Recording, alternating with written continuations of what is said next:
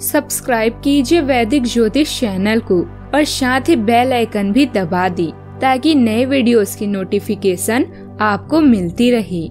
जय संतोषी माँ। दोस्तों, स्वागत है आपका वैदिक ज्योतिष में। जानते हैं आज क्या कहती है आपकी राशियाँ। कैसा रहेगा आपका दिन? शुरुआत करते हैं आज के सुविचार से। यदि किसी कार्य को करने में आपको मज़ा नहीं आ रहा तो इसका अर्थ वो, कार्य आपके लायक नहीं है। हमेशा खुद से प्रश्न कीजिए कि मैं सबसे अलग क्यों हूँ? सफलता आपके कदम चूमेगी। यदि आप ज़िंदगी के रेस में धीरे चलते हुए भी यदि रुके नहीं तो यकीन मानिए आप सबसे तेज हैं। तो चलते रहिए।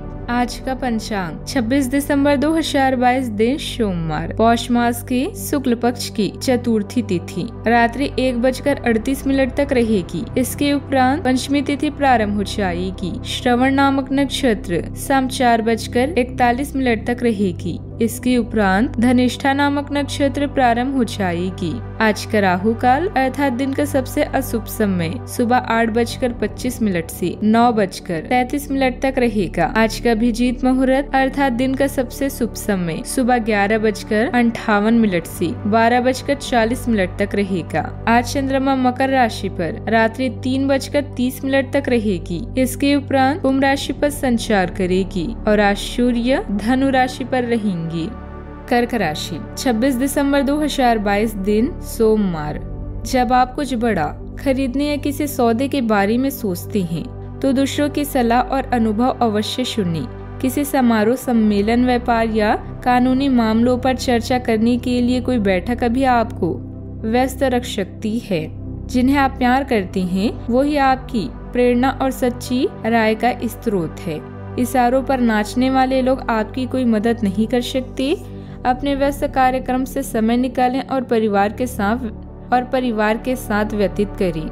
आपका सबसे अच्छा दुश्मन आपको उतना नुकसान नहीं पहुँचा सकता जितना नुकसान आपके खराब विचार आपको पहुँचा सकते हैं। इस राशि वालों को आज अपने मन में कुछ सकारात्मकता रखनी चाहिए और अपने जीवन में समस्याओं के बारे में अधिक न सोचना चाहिए। अधिक नहीं सोचना चाहिए। अपने मन में नकारात्मक विचारों को रखने से बचना होगा और किसी विपरीत परिस्थिति में आज आप अपने क्रोध पर नियंत्रण बनाए रखिए नहीं तो समस्या हो सकती है। आपका कोई मित्र आपके लिए कोई मनपसंद वस्तु लेकर आ सकता है। आपको आज किसी कानूनी आपको आज किसी कानूनी मुद्दे को जल्दी निपटाने की कोशिश करनी होगी, नहीं तो वह लंबा खींच सकता है। ऑफ़िस में आपको अपने काम पर फोकस करने की ज़रूरत है। आज जीवन साथी से किसी बात को लेकर नाराज़ हो सकते हैं और आप परिवार में किसी पूजा पाठ व भोजन, कीर्ति आदि का आयोजन करा सकते हैं। परिवार में किसी वरिष्ठ सदस्य को रिटायरमेंट मिलने से परिजनों का आना जाना लगा रहेगा। सावधानियाँ।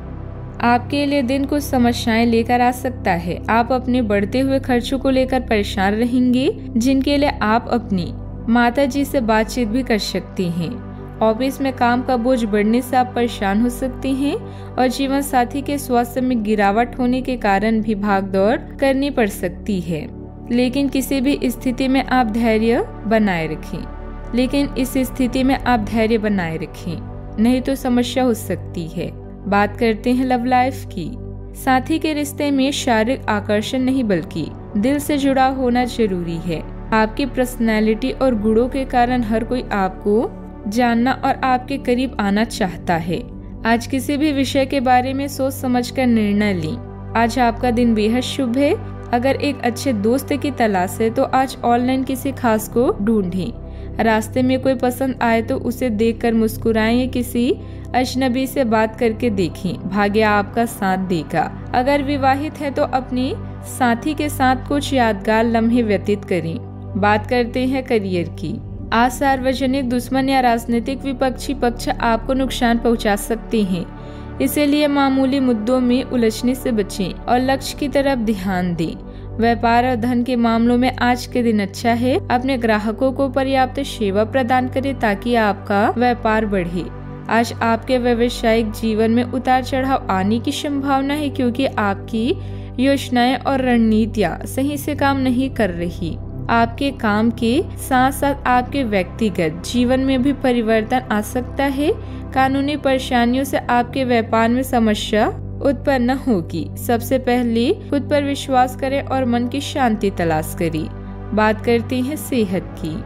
कंधों में दर्द की शिकायत हो सकती है और इस कारण से आपका काम भी प्रभावित हो सकता है। सुबह शाम की ठंड से बचें। सेहत का ध्यान रखें। आज का उपाय। आज अब भोलेनाथ की पूजा करें जीवन में हमेशा सकारात्मक सोच के साथ आगे बढ़ते रहें। आपका दिन शुभ हो।